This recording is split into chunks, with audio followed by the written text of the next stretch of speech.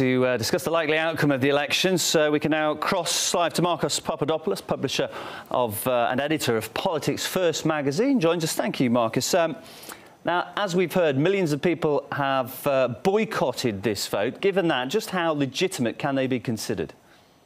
Ukraine's elections were a total and utter farce and an insult to so much of the Ukrainian population. Ever since the Western backed coup this February in Ukraine, the pro Western government of uh, President Poroshenko has rolled back democracy in the country. The two traditionally dominant political forces in southeastern Ukraine, the Party of Regions and the Communist Party of Ukraine, have effectively been destroyed as political forces in the country.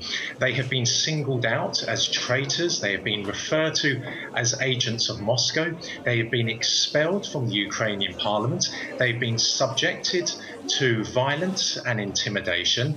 And so it's little surprise that millions of Ukrainians in South, in South Ukraine, Eastern Ukraine, chose not to vote. They chose not to vote because their traditional parties were not on the ballot paper, and they're also very fearful. If we take the Communist Party of Ukraine, its leader, Petro Simonenko, at the beginning of, his, of this year, his home was set on fire um, uh, by ultra nationalist mobs. Now, you won't hear about that in Western media. Certainly, the BBC never referred to that because it doesn't fit in to the West's narrative of what's happening in Ukraine. So, uh, only in only on paper does Ukraine have democracy. In reality, it is very selective and it is only for those parties in the country which are pro Western. But Marcus, I mean, the accusation before was that, that you know the government that, that, was in situ wasn't legitimate because it, it, came to power courtesy of the coup. But now we've had these elections. Are we not going to see the West now saying these are legitimate? This is the new face of Ukraine, and you need to accept it?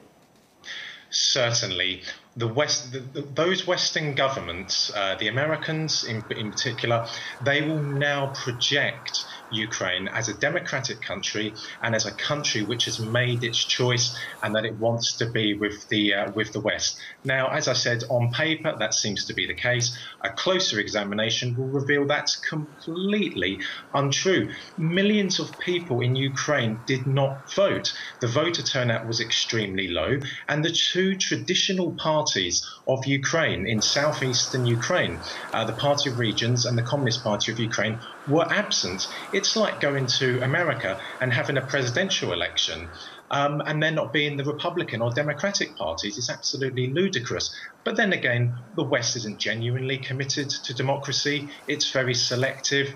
And if it was so genuine about the concept of democracy and human rights, it wouldn't have such a close strategic relationship with Saudi Arabia, which is the complete opposite of democracy and human rights. Okay, thanks for coming on to speak to us. That's Marcus Papadopoulos, publisher and editor of Politics First magazine. Thank you.